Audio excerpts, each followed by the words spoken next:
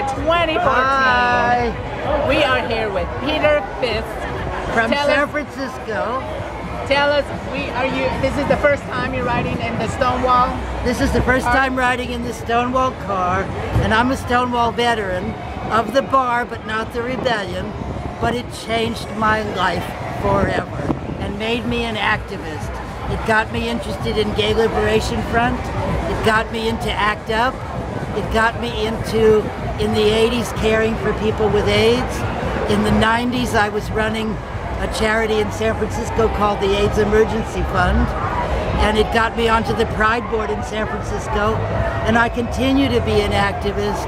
Now I'm working with marriage equality and I'm working with living wage for all people, but particularly for gay and lesbian people, and rights for transgender.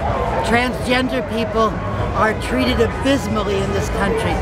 The transgender people are where we uh, gay people were in 1969. And I'm surprised there isn't a rebellion because if I were trans, I would be very, very angry at the treatment that trans people receive. Absolutely, no, you are right on that. But I want to go back to Stonewall. Were you around when Stonewall happened? Here's the story. I, I grew up in New York, but I moved to California to be a hippie. And I came back to, to uh, New York in 1968, and Stonewall was my bar. And there were four of us, and we were a family. My, my friend Andre and Bob and Bobby, and the four of us lived together in the basement of Andre's mother in East Orange. And we came to Stonewall a couple of times during the week and every weekend. And the Stonewall was the most wonderful place you can imagine because it was so diverse. It, it wasn't a rich bar. It had people of color, Puerto Ricans, drag queens, leather queens. I was a leather queen. uh, and it was one big family. And I took every drug known to man there, danced the night away for seven months, and three days before the rebellion, on June 25th, I left to go back to San Francisco. Oh, wow. So I missed the most important event of my whole life.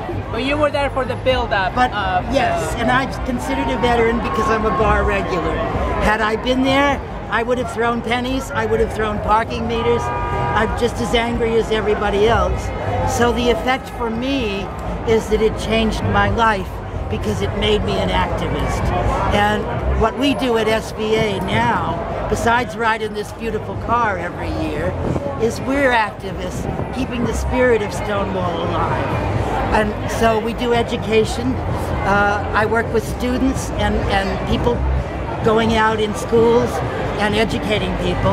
And we're keeping the spirit of Stonewall alive, which is freedom for all, liberation for all, and gay is good. Gay is good. So great to thank be you so much, So, Peter. Thank you. Any last words to your new fans yes, out there? what I can say is live and love and be happy and be who you are. Be free.